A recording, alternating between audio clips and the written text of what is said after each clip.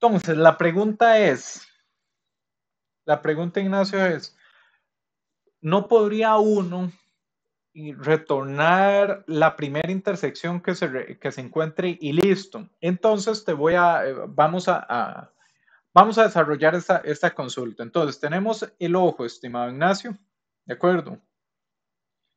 Y este ojo eh, se generó un rayo para un píxel y detectó colisión con estos objetos. Em,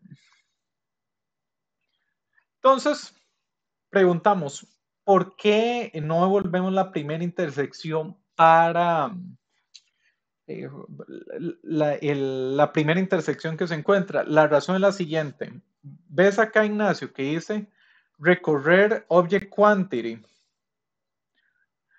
Tenemos una lista enlazada, Ignacio. Tenemos una lista enlazada que tiene los objetos, todos los objetos de la escena, ¿de acuerdo? Ah, ok. Oh, muy bien. Todos los objetos de la escena están en una lista enlazada y esta lista enlazada es la que vamos a recorrer en este forma. ¿Sigues ahí? Sí. Muy bien. Ignacio, esta lista enlazada no necesaria y probablemente no va a estar ordenada con respecto a la distancia al ojo. Entonces, en la lista enlazada, por ejemplo, el primer elemento puede ser este, el segundo es este y el tercero es este. Si reportamos la primera intersección que encuentre, sería con el primer elemento de la lista enlazada. Reportaríamos esta intersección, ¿lo ves? Sí.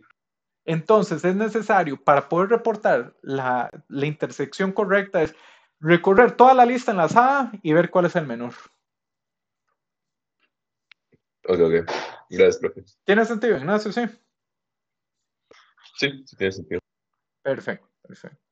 Entonces vamos a seguir.